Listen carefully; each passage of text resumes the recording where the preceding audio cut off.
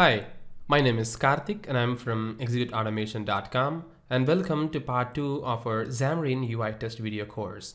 And in this video, we are going to talk about setting stage ready for Xamarin.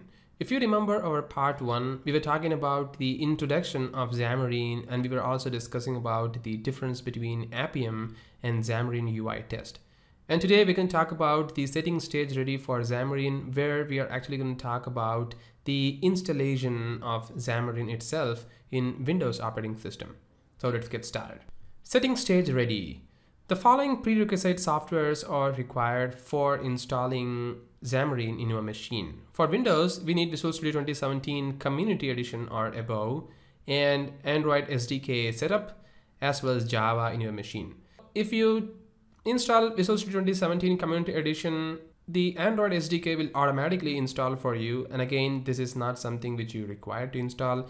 Even Java will also be installed for you alongside the Visual Studio 2017 installation. But all these Android SDK setup as well as the Java setup are going to install in a default Visual Studio 2017 installation path. For instance, if you require the Android SDK to be installed in a different place because it's going to take so much of space in your C drive or something like that, then you can have your own Android SDK setup in your machine. So that is going to save your space and as well as the Java.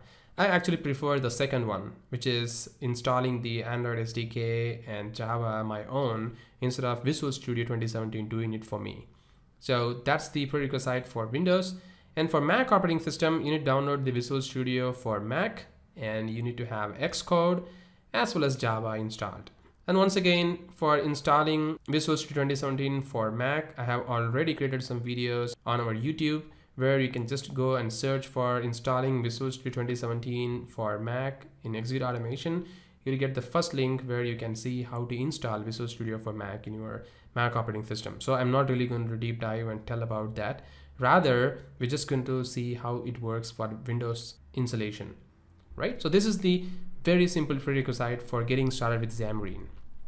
An important information in this whole course is that we are going to do a lot of hands-on rather the slide itself. So you don't see more boring theories in the slides as what we are seeing right now.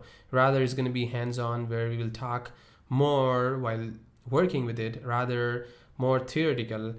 But if you are a kind of guy where you need to see the documentation on how things are working, well, you can just head over to these links, xamarin.com slash university. So this is the Xamarin University. Actually, this is a paid version of Xamarin University where you can see how to develop the cross-platform applications in Xamarin and you can also understand how the xamarin.form works and also you can learn something about the UI test as well.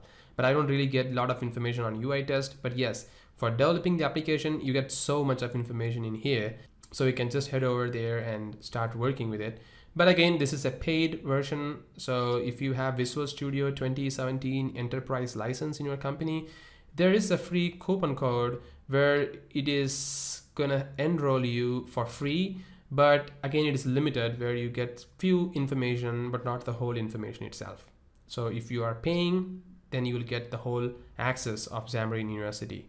And again, there is one more link that developers.xamarin.com slash guide slash cross-platform slash getting started. Here you learn about working with cross-platform application development with Xamarin. And again, this course scope is not gonna tell you how to work with a cross-platform application, how to develop a Xamarin application uh, for Android and iOS.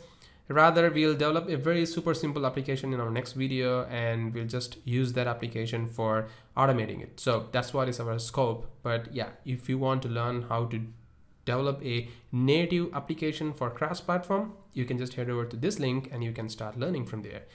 Finally, our UI test. So you can see that the UI test is actually sitting under slash test cloud slash UI test. So it means they are giving more preference for the test cloud itself rather the API, which is the Xamarin.ui test.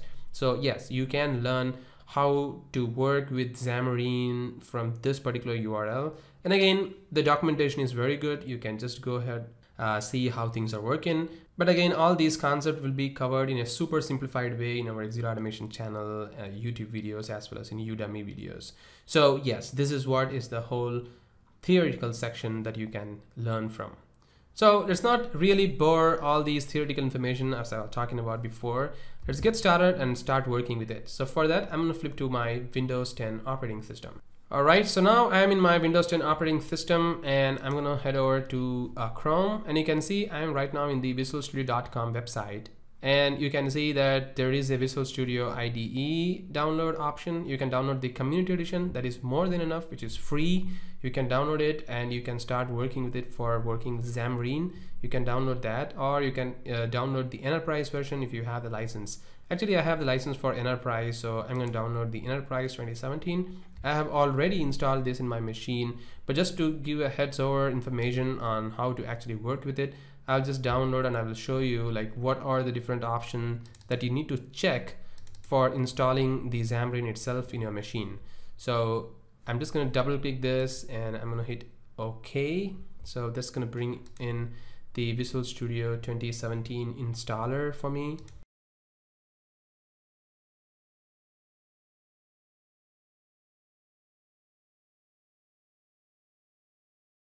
All right, so the finally uh, we are here with the Visual Studio 2017 and uh, you can see there is a modify option that I have. So if I do modify, it is going to bring me up the actual installations that I have. So the one thing I checked here is this. Uh, I have checked this uh, ASP.NET and web app development here. So it's going to be useful for me to develop some web applications. I've checked this and you have to also check this .NET desktop development if you want. And finally, the most important thing is this mobile development with .NET. So here's where the Xamarin comes into picture. So this is the one which I was talking about. Build cross-platform application for iOS, Android, or Windows using Xamarin. So you need to uh, check this as well. So these are the options that we required actually for developing uh, the Xamarin application. But I have a few more things like .NET Core because I'm also interested in the uh, .NET Core to uh, run the Selenium on different operating systems with Dockers. So I have checked this as well. So these are the different options that you need to check and then if you hit install, it is going to install. That's it. It's pretty straightforward and simple. But if you go to the individual components here, and if you scroll down a little bit you can see that there is a Xamarin profiler remote simulator and workbook. And also there is a Google Android emulator. This is what I was talking about. So if you check this it is going to install the emulator for you out of the box along with the Visual Studio. And also it is going to install the Visual Studio emulator for Android if you install and also the Intel hardware accelerated execution uh, manager. So this is very, very important because if you have the Intel VT enabled system, then it is going to be very, very faster. You will really understand what I'm really talking about. So if you have an Android emulator, which is pretty slow, and if your machine is uh, Intel VT enabled, and if you check the host GPU usage, then it will be very, very faster as like your Android cell phone, which is the uh, actual physical device. So this is also important. And you can see this, these things I have not even installed using Visual Studio, but still it is installed in my machine. So I have actually customized this and I have installed them my own. So I'm not really using the out of the box uh, installation which is available along with the uh, Visual Studio. So this is the installation part, pretty straightforward and simple. So I have installed all of them and it is pretty good to go. So once you install these, all of these things is going to be there in your machine. Just need to restart, I guess, uh, maybe one time because the .NET uh, framework will be installed and also .NET Core will be, will be installed. So yeah, these are the few things that you need to install. So once everything is installed, you're pretty good to go and uh, you can see that the Xamarin will be available if you just head over to the uh, file and new project template, you can see there will be a cross-platform option where you can see there is Xamarin and also iOS uh, for Xamarin and also the Android for Xamarin, right? So these are the different options that you get once you install the uh, Visual Studio. The reason why I have not installed is because it is already available in my machine and the another reason is going to be time consuming and it's going to take so much of time. So uninstalling in my machine and showing you again the same thing is going to be really really boring. It is pretty straightforward installation. So please do it yourself and we'll talk about the creation of a super simple application in the next video and you will understand how to create a very super simple application and run the application in the android emulator. So once again thank you very much for watching these videos and have a great day